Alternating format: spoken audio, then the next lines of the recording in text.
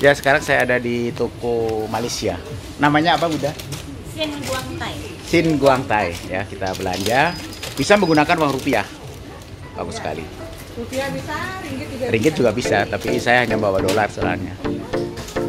Kita utang saja sama ibunda-bunda itu.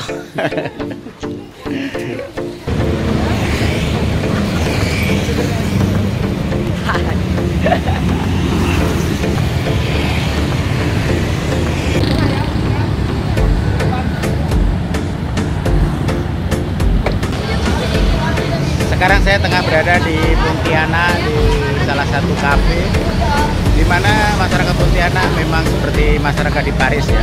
Beginilah orang-orang Paris sedang menikmati kopi dan ini merupakan satu kayak kebiasaan orang-orang Paris ya nongkrong kopi dan merupakan sebuah cara untuk mengekspresikan dirinya maupun ya kelompok-kelompok. Bagaimana dengan di Indonesia? Ternyata kita juga mempunyai kota kafe. Saya berkunjung ke Pontianak.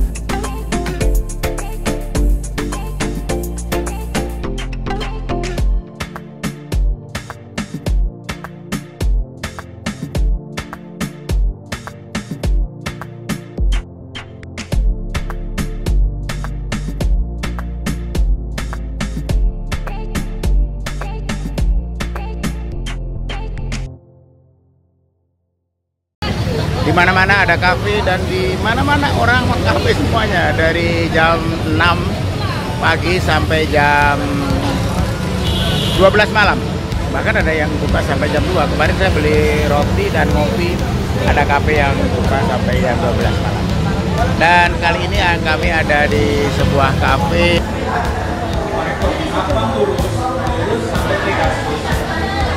jalan yang sangat lebar ya merupakan Pontianak dan kami senang sekali berada di sini dan bersama teman-teman yang lain. kaki ini betul aja memang ini ah, nikah ini gelarnya putri Raden ya Raden Raden Berarti itu dari Jawa ya? dari Jawa dari Mataram. Nah, jadi kalau di Kapal Sulu itu ada ada Dayaknya, ada Jawanya, ada juga Portugisnya. Ya, kalau di daerah Bulu-Burung itu memang orang Portugis, jadi rata-rata orang eh, Dayak di sana tuh cantik-cantik. Oh, Jadi dia menjadi masih ya, blonde-blonde gitu ya. ya, dia itu masih. mau jadi orang, jadi istri kedua, asal dia pegawai, suami pegawai. Iya, Sama dengan Cianjur. Itu ya. Ya, Cianjur, Cianjur, Karawang,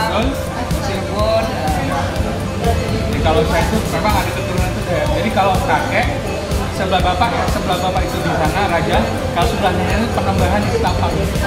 Penambahan. Ya penambahan itu. Jadi nenek saya itu anak ke satu, anak dari tujuh istrinya raja. Nenek Dan ibu atau bapak? eh, nenek, nenek saya, sebelah ibu, Sebelah ibu. itu tujuh belas, tiga belas. Berarti yang Jawa berarti nenek sebelah bapak. Sebelah bapak.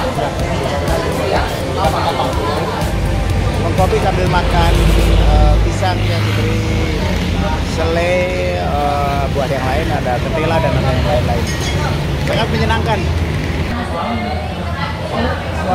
Ya. Di itu ada itu ada yang khusus-khusus. sebelah kanan.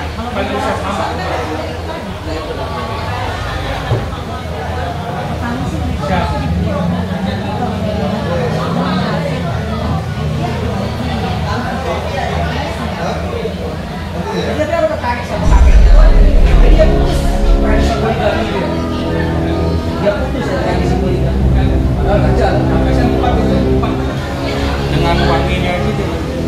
tapi nggak ada tapi nggak ada nikah diturunkan ke diturunkan nggak ada.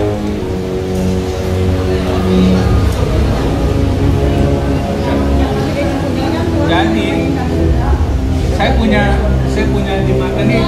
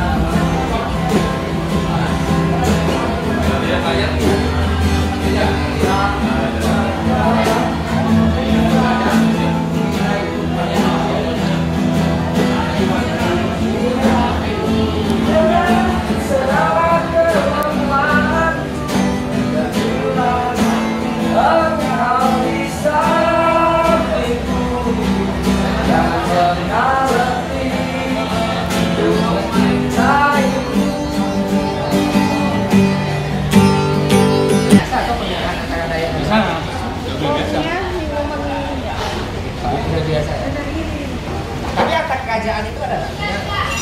Kerajaan ini dulu pernah perang lalu dilarang. Ya enggak. Kita jarang menemukan antara itu eh, dalam. Makanya orang Dayak menganggap bahwa orang suku Melayu adalah suku saudara tertua. Jadi kan ada kalau kita lihat ada empat nih, Pabrik Arab, Ya. Melayu, Belum. Tionghoa, sama Dayak. Berarti kawin antara etnis ini Udah udah sudah biasa. udah biasa. Mari kalau ke Pontianak silahkan mampir ada kopi Asiang, ada kopi Fikri, ada kopi banyak sekali lah. Saya tidak bisa menghafalnya. Itu Pak.